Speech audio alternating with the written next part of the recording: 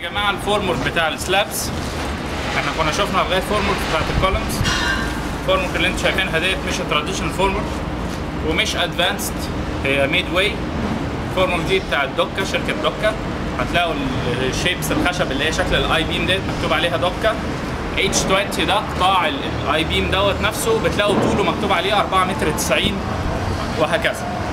الاطوال بتاعته كلها. ال jacks دي برضو بتاعت دوكا. بالرجول بتاعتها ديت. في منهم هتلاقوا عادة يعني بيبقى في شوية jacks بالرجول ديت بالشاسيه ده ومنهم من غير. Anyway عشان نبتدي ال formwork بعد ما نكون صبينا ال columns أول حاجة عندنا الشرب بتاعنا ال level اللي بنشتغل منه كل حاجة. بيبقى عندنا في بعض الأحيان سقوط كمر زي ما أنتم شايفين هنا هنا في كمرة ده كمر. الباقي كله هنا ال area دي كلها flat slab أو شايفين هنا الدرام ده الخشب ده اللي في وشنا ده كمر وهتلاقي ال jacks عندها على المنسوب ال- الواطي ال level بتاعها. okay؟ أول حاجة في النجارة بيبتدوا إن هم يشتغلوا للكمر ال level القليل. عنده الشرب عارف سقوط ال- الشرب دوت عارف إن هو يعلى منه مثلا 2 متر ده السقف. والكمرة ديت مثلا ال depth بتاعها 70 والسقف 30 يعني نازلة عن السقف 40 يبقى هينزل عن ال 2 متر دول 40 سم علشان يجيب قاع الكمرة بيبتدي يحط ال jacks بتاعته. تمام؟ بعد ال jacks بتلاقوا عندهم ال- الدوكا دول في في two directions اللي فوق ده بنسميه U-head U-head بيحط في ال direction الأولاني وبعد كده ال secondary direction وبعد كده التطبيق بتاع السقف اللي هو الواح الكونتر اللي أنتوا شايفينها الخشب. اللي هي متر 20 في 2 okay الكمر زي ما قلنا أول حاجة بيعملها تعالوا نقرب ناحيته بس بس خليكم أنتوا بعاد عن الصورة من غير ما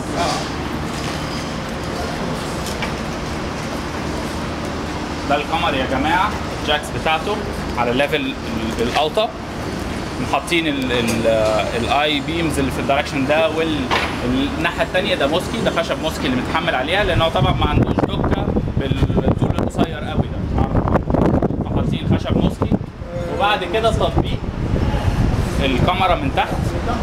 الواح اللتزانة اللي أنتوا شايفينها من هنا. لو بصيتوا من تحت هتلاقوا الواح لتزانة ده التطبيق بتاع الكمرة. okay؟ الدوائر بتاعتها لو أنتوا بصيتوا فاكرين لما رحنا ال site التاني قلنا في حاجة اسمها زرجينة بلدي وزرجينة فرنجي. فاكرين الموضوع ده؟ شايفين الزرجينة اللي فوق دي؟ دي زرجينة فرنجي. شايفينها؟ السيخ الحديد اللي طالع ال screwed ده. ده في واحد زيه من الناحية الثانية بره. هدف الكلام ده كله وأنا بصب. الكلام ده ما يفتحش فبتحط هتلاقوا زراجين دي at certain كل 40 سم كل 60 سم كل 70 سم على حسب قطاع الكمرة. و according لل design of formwork اللي هم اعتمدوه في ال workshop draw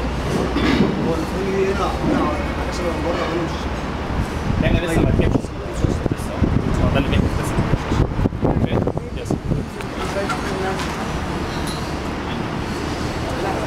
الممبر البوكس شايل هو ماسك في العمود ماشي في العمود ده اللي فوق. أوكي دي الكاميرا. اللي في وشنا ديت والصوت اللي فوق باب الاسانسير باب الكور صورها بجد والله. ممكن نعتبره كدبس الكاميرا مع جوه دي الصوت ده إحنا واخدين الجناب اهو بتاعت الكاميرا أوكي دخل الخشب البني ده الكونتر حاطين عليه الكابل المسكي كل مسافه واخدين عليهم زي الساري اللي كنا بناخده في العمدان بالمسافه أوكي تمام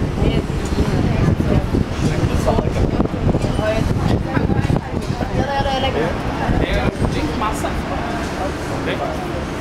لو أنتوا بصيتوا هنا هتلاقوا هنا ال formwork اوطى من الحتة ديت. ده probably drop panel خدتوا drop panel في ال design يا جماعة؟ في كورسات ال design ولا؟ نسمع عنه كده من بعيد ساعات ال columns لما يكون عليها punching بنزود area حواليها في ال slab ال thickness بنعملها drop panel هنا هتلاقوا السقف فيه منسوبين الخشب. لو أنتوا بصيتوا هنا هتلاقوا هنا مستعمل موسكي وهنا الضغط. فرق ال thickness بتاعهم هتلاقوه موجود في الخشب. ومتقفل في الجنب. ده drop panel أو حمام موطين البلاطة بتاعته. الحمامات بنوطي ال level بتاع البلاطة بتاعتها عشان مواسير المايه اللي في الأرض لما اعمل ال finishing بتاعي يبقى كل level واحد. فبوطى بال level بتاع الحمام okay مش حمام لأن هنا الحمامات مش متكامله طيب السقف دوت once إن إحنا خلصنا ال structure ده كله عايزين نستلم السقف دوت فوق بنحط ال axes lines بتاعتنا بنراجع المسافات بتاعت الدوائر بتاعتنا الدوائر اللي هو ال boundary بتاع السقف اللي بره according لل axes lines بيهمنا قوي إن السقف ده كله level ولو في مشكلة في ال level ال screw ده يا جماعة لو اتلف بينزل ويرفع الشد في ال area دي. فبيقف آه surveyor فوق بميزان القامه بياخد لقطات على السقف في ال في ال على السقف من فوق من فوق الخشب يعني. لو في أي مشكلة في الوزنة بيخبط لهم بيقول لهم الحتة دي عايزة تعلى أو توطى بيبقى في ناس تحت هنا بيبتدي يلف الكلام ده يظبط له يراجع معاه لغاية لما يتأكد إن وزنات السقف كلها مظبوطة. الدوائر هنطلع نبص عليها. هو السقف لسه مظبوط ولا؟ آه لا بس ناشف يعني نقدر نمشي عليه يعني. هنطلع؟ هنطلع. لا. إيه يا جماعة ال boundary اللي هو بره دوت أو فتحه ضكت زي دوت أو أو بنحب نتأكد إن الكلام ده في مكانه بالظبط. لما نيجي نشطب الواجهة لو الدوائر دي فيها مشكلة هتلاقوا دور عن دور داخل أو طالع. ضكت في مواسير. لو داخل أو طالع هيعمل مشكلة. نحط ال axes lines فوق. لو أنتوا شايفين في خيطان مشدوده على الداير اللي بره ده شايفين الخيط الأصفر ده؟ آه. ده عشان أتأكد إن الدوائر دي ماشية straight line أنا اتاكدت مثلا مسافتها في certain points كده شديت الخيط ماشية straight line ضمنت إن الداير ده مكانه في مظبوط ومش لاعب ولا داخل ولا طالع. تمام؟ أنتوا شايفينه ده السقف ده الجزء ده اتصب already ده مظبوط امبارح مش كده؟ من امبارح من بدايه امبارح الساعة 8 عارف الرباط بنحط له مادة أو أي حاجة ولا قبل الصب النهارده؟ تمام آه في الفاصل بترش في الفاصل الماده باينة هنا وعايز تمام. هنا يا جماعة علشان صبوع بيصبوا السقف على يصبوه على كذا مرة أو مرة أو اتنين أو what بنيجي عند الفاصل الفاصل ده ما ينفعش أبقى قطعه horizontal لازم يبقى مدرج بميل. ليه مكان معين مش أي مكان باخد فيه الفاصل ما ينفعش آخده في ال maximum moment تمام. وفي نفس الوقت لما باجي تاني يوم بنبتدي نرش مادة اسمها Addibond. بتساعد التحام الخرسانة القديمة مع الجديدة. هي بتتخفف بمية معدل واحد لواحد ولا كام؟ واحد بتتخفف بميه بتترش على الاريا بتاعت الفاصل وبعد كده ممكن اللي كان جاهز وصبوه ممكن لا ممكن بتحصل عطلات في الطريق حتى. الفاصل ده ما اول سنتي لا وانت لو عندك مشروع حاجة هيوج مش هتعرف تصبها كلها في في عندك سقف 10000 متر مش بتصب مره واحدة استحاله لازم يبقى في فاصل كتير. ده فاصل صب مش فاصل تمثل تمام. بالنسبة لل الحديد يعني مش هنعرف نشرح حاجة عليه قوي هنا الصراحة آه، هو الحديد آه، حديد آه، يتصب هنا اللي هو رجلين آه، 30 سم طبعا في اضافي على الكباب على سفلي في النص في ولا سفلي في مناطق معينة. طيب ال- ال steel هنا يا جماعة دي flat slab ال flat slab بتبقى فيها upper و lower مش شبكتين شبكة علوية وشبكة سفلية. اللي إحنا واقفين عليها دي العلوية اللي أنتوا شايفينها دي اسمها كراسي. شايفين ده؟ ده كرسي ده ده أنتوا شايفين الحتة اللي فوق فيه بس هو ليه رجلتين برجول متثبت تحت بحيث انه بيرفع بيحقق لي موجود يعني ممكن نروح الاسلام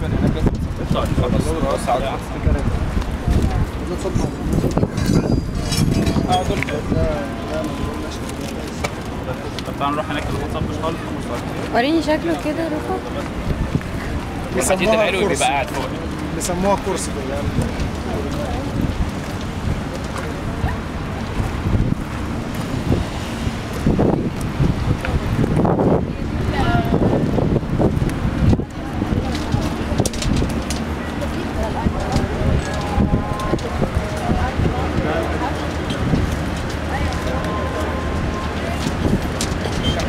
دي اللي إيه؟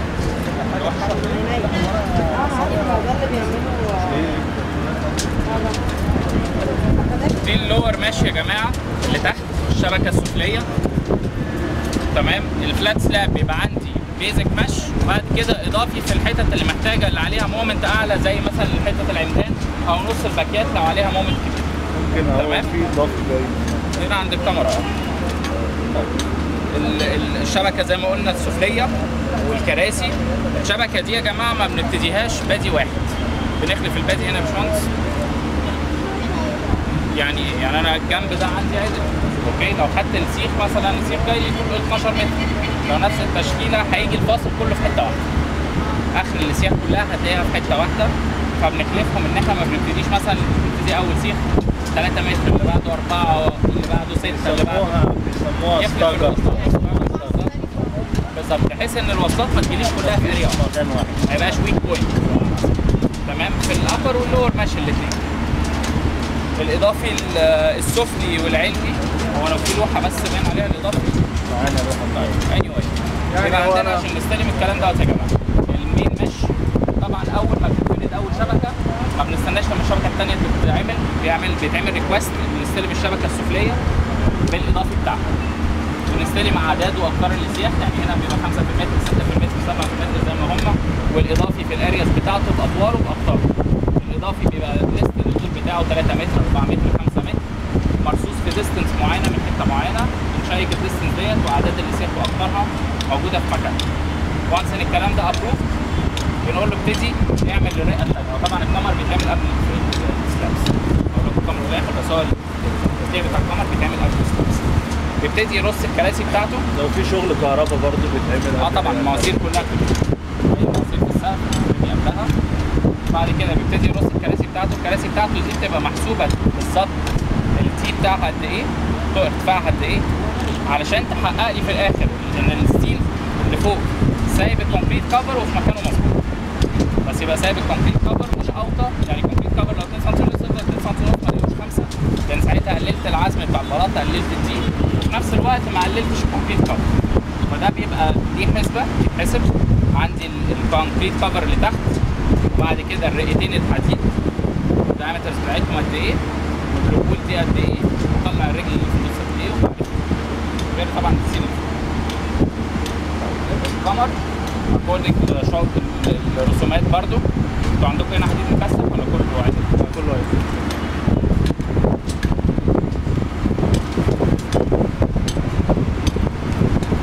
سفلي وحديد علوي. وبرندال هنا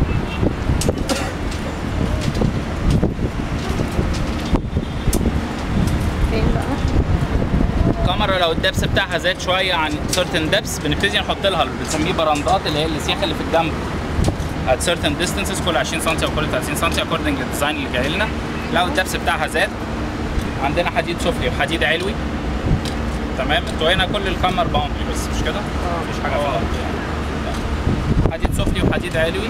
نشيك برضو القطر هو طبعا أنتوا ما عندكوش هنا حاجة في العمدان فتلت البحر أو مش عارف إيه كله حلية بس برضه طيب anyway. زي ما قلنا بنشيك الحديد السفلي الحديد العلوي أقطاره وعدده. تقسيط الكانات لو في تكثيف كانات مطلوب في certain distance من بادي الكاميرا بنشيك إن الكانات متكثفة ولا لأ كعدد. بيبقى لسه خمس كانات مثلا في المتر وحتة المتكثفة سبعة أو ثمانيه أو 10 أو وات ايفر بنشيك ان المتر أو المتر ونص اللي مطلوب اللي الكانات متكثفة فيها مظبوطة باقي مظبوط and so on بن approve إن الكلام ده يتصرف.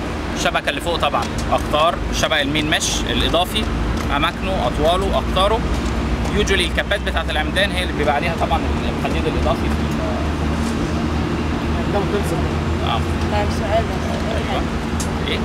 حلو حليه اللي بره ساعات ال boundary الكمرة ال boundary اللي بره بتبقى بس يعني هو عامل cladding أو whatever فمحتاج يصبها محتاج يصبها إنما مش مش كمرة structure عامل بيها shape of concrete بمعنى صح مش عارف.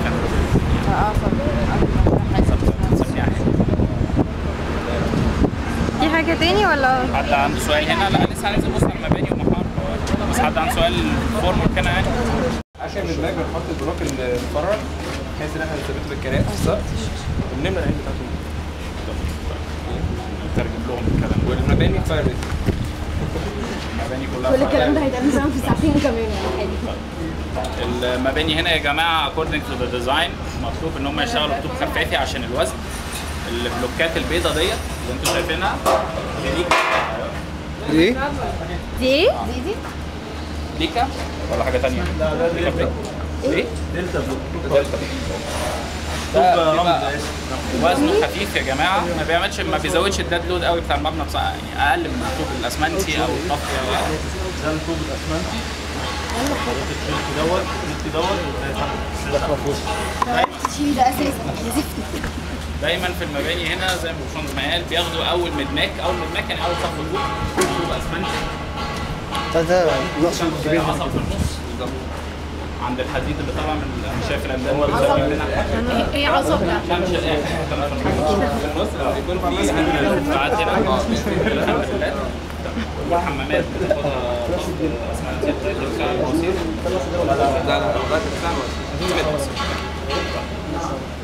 الباشمهندس زي ما قال لكم لو عندنا هاند ريل أي حاجة عايز أثبتها الطوب طبعا الخفافي ده بيبقى ضعيف شوية.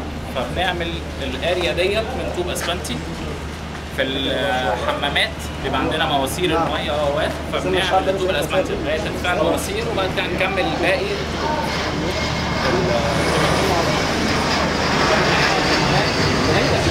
هنا بيعملوه طوب مفرغ لوك مفرغ. ولو أنتوا بصيتوا في كنات راكبة في السقف الضفتين ديت دي عشان تعمل connection بين السقف والطوبة. الضفتين دي بتسقط في العين هنا. وبنملى العين دي مونة بعدها نقفلها فبيبقى ده ماسك. شايفين؟ ده آخر مدماك عنده. طب لهم بس الحيطة. زي ما كنا بنوت ال verticality بتاعت العمدان يا جماعة في الساعات اللي شفناها قبل كده. البنا هيوزن لنا الحيطة. البنا طبعا الأول بيشد في حتة مشدودة. هو الناس أنا قصدي يباني أشد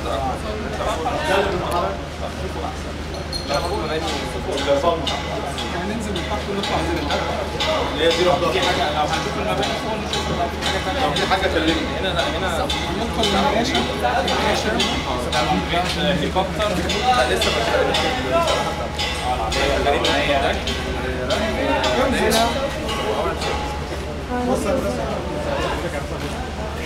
زي ما وزننا العمدان قبل كده يا جماعة لازم الميزان يبقى حر في نفس الوقت مركزين مع ايده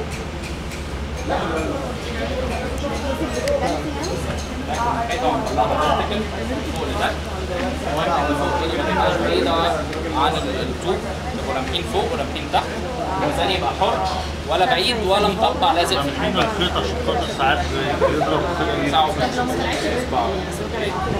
مسؤوليته هو يشيله على حساب على حساب يمسكوا البنا مشكلة مشكلة. مشاكل. انت حر. وايه يا جنى؟ بدل الواحد دي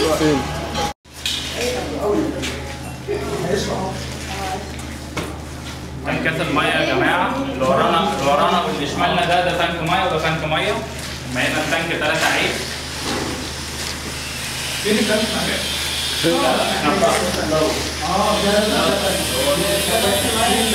فين التانك؟ أنا وفين البنك ده؟ فين؟ آه ده؟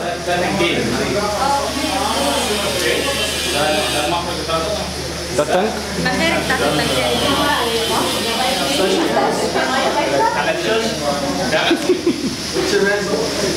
واحد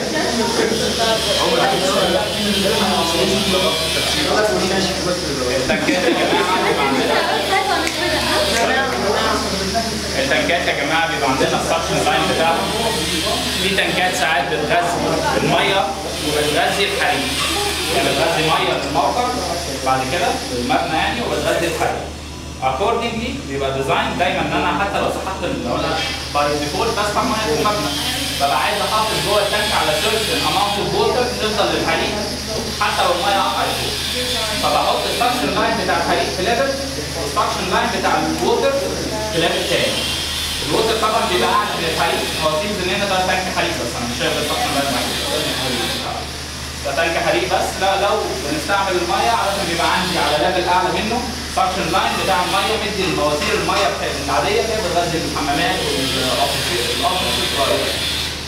ال suction line بتاع الحريق بيبقى اوطى شوية عشان يسحب العيش وببقى ضامن إن الدفاع بدل بيجوا بالسلمو ليهم volume وال tank دوت certain volume بيبقوا طالبينه للحريق.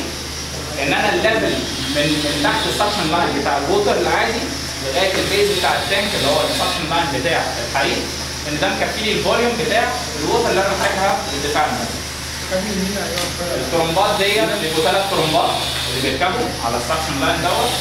واحدة ديزل واحدة electric واحدة jockey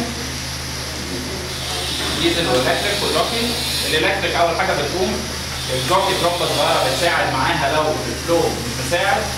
لا قدر الله حريقه كبيرة شوية بنفصل الكهرباء عن الموقع. الديزل تقوم automatically تغذي بدل الاثنين تمام؟ المواسير ال embedded في الخرسانة دي دي بنحطها من قبل ما نصب. الماسورة دي يا جماعة ماسورة وبيبقى فيها flange في نصها في نص الخرسانة. يعني لو دي قطع الحيطة ال flange بتبقى في نص الخرسانة. الهدف من القصة ديت إن أنا بطول مسار المية لأن ده بيبقى دايما weak point المية تتسرب من ال tank. فبدل ما تبقى المية هتمشي through الماسورة بس الجدار بتاع الماسورة بقيت حاطط لها عقبة إنها لازم تطلع وتنزل داير ما يدور ال flange اللي أنا حاططها. تمام؟ طيب. ده قصة قصه الترمبات التنكات ما ينفعش يبقى فيها فاصل صب ما ينفعش يبقى فيها زراجين أو يفضل يعني. لو اضطرينا بعض الأحيان بنضطر في نوع من أنواع الزراجين اسمه water flash ساعات بنضطر إن إحنا نعمل أو هنعالجها ب chemical دومينوز بعد ما نخلص الزراجين ديت بتبقى عبارة عن حاجة كده زي الفلاحين بالظبط. زي ماسورة بلاستيك. بيتحط فيها الزرجينه من هنا ومن هنا. شوف لك أنا الجنبين. الماسورة؟ الماسورة ديت بتبقى ليها قطر كده وطالع منها زي ماسورة أصغر منها. الغرض من القطر الكبير دوت إن هي برضه تطول مسار المية وهي أصلا مسدودة من جوه. بس دي ساعات بتكون نقطة ضعف. okay؟ بنملى الكلام ده ودي دي مواد في في water stop المفروض بيتحط. ده rubber بين الحيطه ولا؟ ال kicker أو الأرضية والحيطة.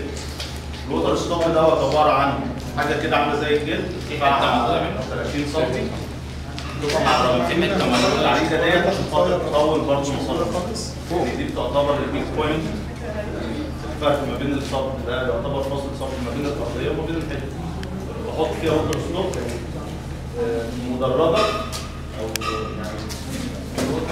يعني كانها فيها bubbles كانها فيها bubbles كانها فيها bubbles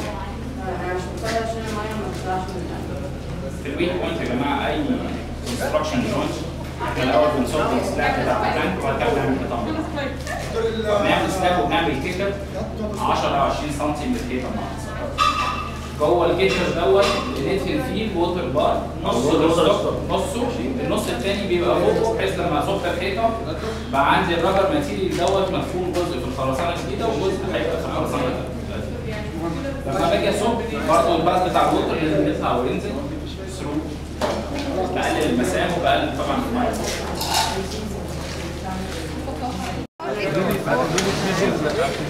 تمام يا باشمهندس. محتاج سولار دي ما لا لا مش مش ما اكتشفوش حاجة يعني للاختراع. الحيطان بتاعت ال basement كلها عاملينها plywood plywood آه، زي اللي هو انواع الخشب الكونتر اللي وراه ده بيطلع الخرسانة. للبيت تسمح إن أنا أدهن عليها. يا دوبك اعالج شوية الفواصل ما بين ال- ال- الواحد two panels دول. بعد كده تسمح إن أنا أدهن عليها. ال fair face هي complete دي لسه ما اتدهنتش يا جماعة واللي ورانا دي. واللي جنبيها دي مدهونة. دي ما بنحتاجش المحر. بالظبط. دي ما بتحتاجش محر. just إن أنا بعالج زي ما قال الفواصل اللي بين ال- الواحد كونتر نروح ونروح وبعد كده نبتدي ن- ن- نشتغل نقاش عليها على طول. ده هو ده؟ لا ده. لا ده ده الخشب اللي بستعمله عشان اوصل للنتيجة ده, ده بيكون في توفير المحاره في المشروع. بستخدمه دايما. يعني أنا لو عندي عمدان جاي عليها احطام بعملها بعملها لطزان عشان خاطر داخل عليها حيطة فبالتالي الحيطة هتتمحر وهتتطرطش فبضطر أعمل العمود كله لطزان انما لو عمود ما عليهوش اي حيطان زي اللي وراك دوت بعمله في الفيس بحيث إن أنا ادهنه على طول. ده في توفير للمح... لل... توفير للمشروع للمحارة بالتالي توفير مصنعيات توفير material. وفي نفس الوقت يا جماعة ما بنعملش ده لو عندنا محارة لأن لو عملنا ده هنرجع نزمبره كله. نزمبره يعني ننقره عشان يقبل المحارة. هو ال surface بتاعه دلوقتي ناعم جدا مش هيمسك عليه المحارة. فلو كان لازم نزمبر الكلام ده كله عشان نعمل الفاير ده. يعني ال- السقف دوت كله معمول معمول ply لا لا معمول إيه؟ ply كونتر كونتر فلما يصب بيطلع خلاص هنظبطه في ال plastering phase وبعد كده النقاشه بتيجي ده surface جاهز already و leveled وكله تمام وماشي مع ال axis lines والدنيا زي الفل. بتكسه هنا. واخد axes lines بتاخد منها البعد ال axes lines اللي إحنا عارفينها واخدين منها auxiliary axis المفروض الحيطة دي على certain distance من ال axis. طبعا ال axis line موجود ال distance للحيطة على المباني مش على المحاره بس أنا بيهمني قوي إن أنا الحيطة دي parallel لل axis line فمسافتها من البؤجه دي زي مسافتها من البؤجه البؤج دي بنعملها بس patches دي اللي في الآخر حاملة الحيطة عليها. اللي أنتوا شايفينها. ورا هنا دي.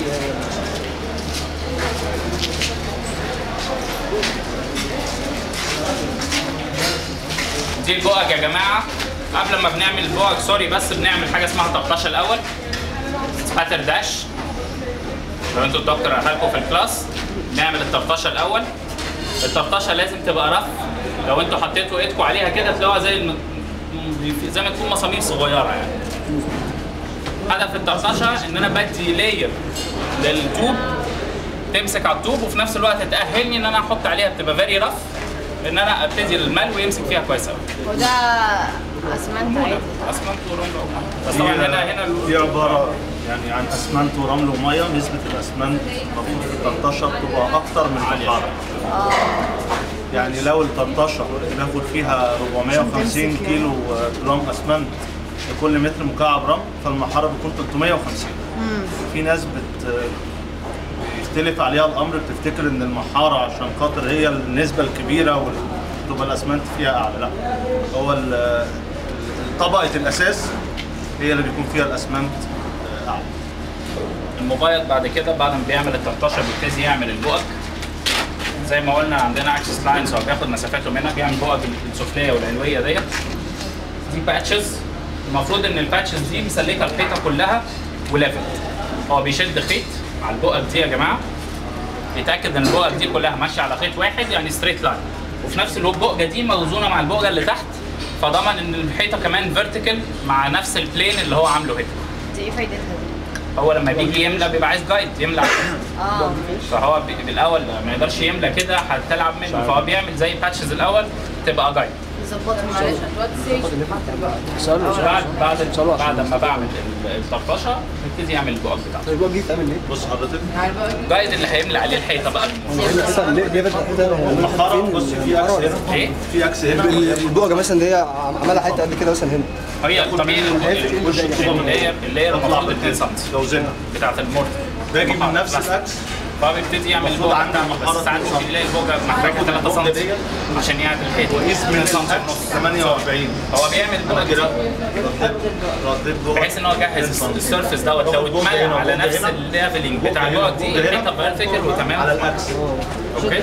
وشد منهم وتر زي اللي هنشوف الوتر هنشوفه هناك بقى.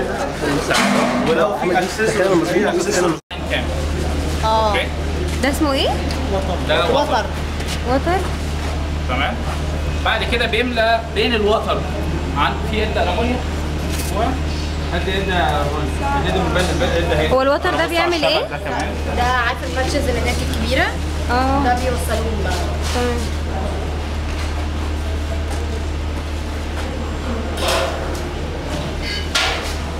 بعد كده بيملى بين الاثنين دول يا جماعة الوترين دول ناشفين. يبتدي يمسك العدة ده ويشيل أي excess موجود في ال mortar اللي. لوحدها. تعالى كده. وهنا اللي بره الوترين أكتر. آه طبعا من لو بره حطيت الوتر حطها على القده ديت على الوترين من بره أنا لو حطيت مونة هنا زي ما أنا ما عايز أحط القده ديت بمشيها أي مونة زيادة بتطلع. تاخد المسافة ديت والمسافة اللي تحت. زي الاشكال برضه. طيب بصوا يا جماعة هنا مواسير الكهرباء أو أي connection بين طوب وعمدان بنلاقيها شبكه دي weak point دايما. تفاعلهم مع الحرارة دول two different materials ال expansion بتاعهم مختلف ال behavior بتاعهم مختلف. بتبقى weak point ممكن تلاقي الحتة دي نملت أو شرخت أو فتحت. بنعمل لها ده كنوع من أنواع الرينفورسمنت دي مسامير صلب. بتدق الشبك ده بيتسلخ الأول. بيتسلخ بي بي بي بي كلام إزاي؟ بيتسلخ يعني ما بيتمليش على طول ما بياخدش طبقة الفلفل. آه يعني ما ينفعش ان أنا أجي كده بعد ما عملت الغطارين املى عليه على طول وخلاص. لازم آه، لازم يبقى بشرحه. آه. آه، لازم داخل السلخانه وشرب anyway الكلام دوت زي ما قلنا بيعمل انفورسمنت حتت فيها مواسير كهرباء أو كونكشن بين عمدان ومباني دي اللي بنركبها في الزوايا. الزوايا أضعف حاجة تتخبط وأضعف حاجة ال- السوكة بتاعتها تتكسر على طول. عشان رينفورس الزاوية الكورنر زي اللي بره دوت يا جماعة. بنركب الراد ده بنسميه إمام أو العمود الفلزي ده الشبك ده وده بيتحط بظبط ده الراس بتاعته مع البقك بتاعتي. لأن الراس دي الطرف بتاع الراس ده ده الفينش بتاعي خلاص بظبط ده بثبته وبعد كده لما بملى هتلاقوا البقجه اهي بتاعتي. وهنا ماشية مع الحيطة خالص. okay؟ ده بيدي reinforcement للزاوية. لو حاجة خبطتها ما تتكسرش بسهولة. تمام؟ ال difference بين دي حسب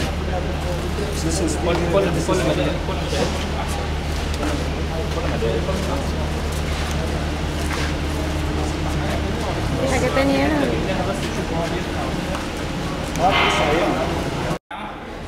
النقاشة شغل ال painting بنبتدي بأول حاجة ال sealer. ال sealer ده بيقفل المسام بتاعة ال concrete أو ال mortar المحارة أو الباستر. ده المكان اللي هم علقوا فيه الفواصل بتاعة ال fair face concrete بنبتدي بعد كده بندي ال sealer أول حاجة. بندهن ال sealer. ده ب roll عادي خالص. بعد كده بيعملوا سكاكين المعجون. هنا المواصفه عندهم إن هم بيعملوا سكينتين معجون. sealer وبعد كده سكين- سكينتين وبعد كده sealer تاني. وبعد كده وشين بلاستيك. ده فوق ولا في ال basement بس؟ فوق. حاجة لا لا في حوالي فوق. آه، فوق نفس السكينه الأولى بتكون عكس السكينتين يا جماعة هتلاقوا كل واحدة عادة بنديلها لون مختلف. ده بيبقى أسهل لنا كتير قوي وإحنا بنستلم عشان ما يجيش الراجل نقاش يقول لنا اديت ثلاث سكاكين وهو مدي سكينة.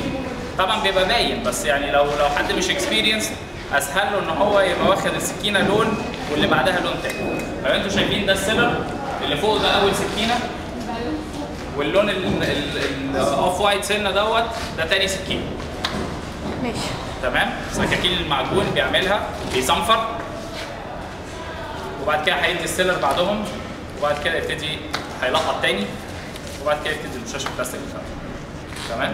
طيب الإنسبكشن عليهم هنا الخامات هو هم اللي بيجيبوها ولا الشركة عندكم؟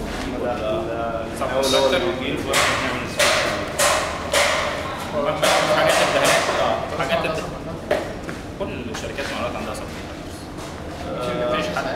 لا راس مراس راس صغيرين كل التشطيبات مواليد صغيرين آه.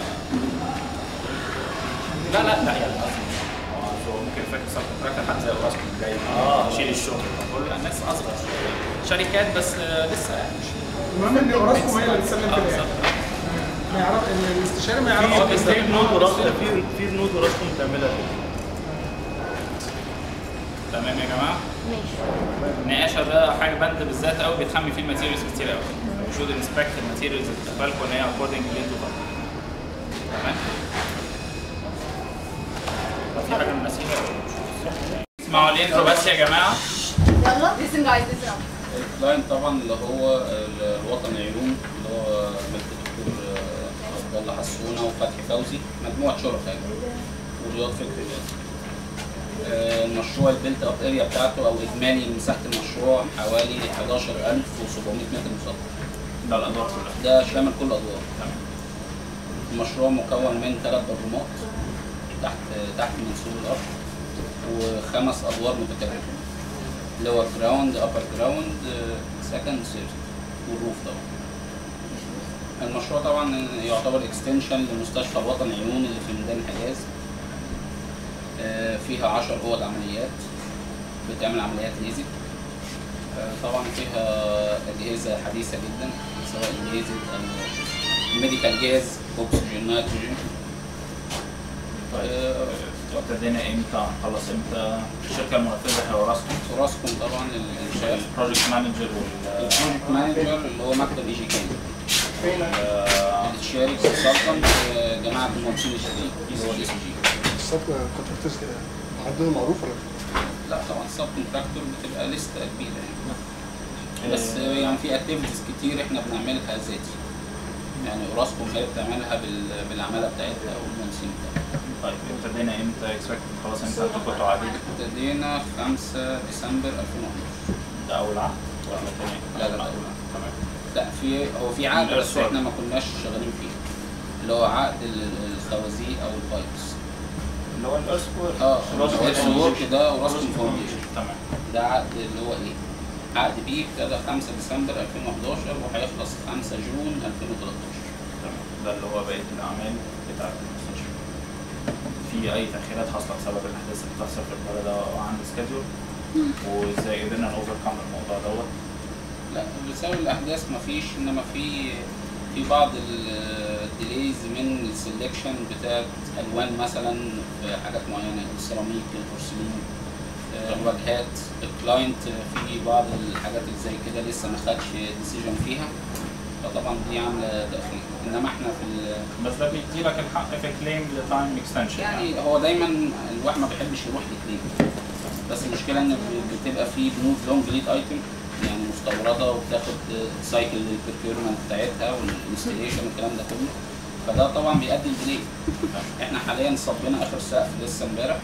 آه، كده إحنا عاملين ahead schedule في ال skeleton حوالي شهرين. إحنا المفروض نخلص ال skeleton بتاعنا على نص ديسمبر الحمد لله بفضل يعني مجهود الناس المهندس عادل وكل ال team اللي شغالين معاه خلصنا امبارح. إنما ال delays في الحاجات اللي بقول لك عليها دي طبعا يعني فده قصدي يعني. بنحبهم يعرفوا إن ال real life مش ال- على الورق وبس. يعني دايما بيبقى يحصل ظروف. طبعا يا هنعمل crashing يا هنشوف يا لينا time extension لينا cost extension هو كان في مشروع قبل دوت كان فعلا متأثر بالأحداث يعني ال- الأحداث اللي قلت حصلت فترة آه،. طبعا في. في حاجات كتير. بتحصل أو في مشاريع وقفت. آه طبعا حد عنده اي سؤال يا جماعة؟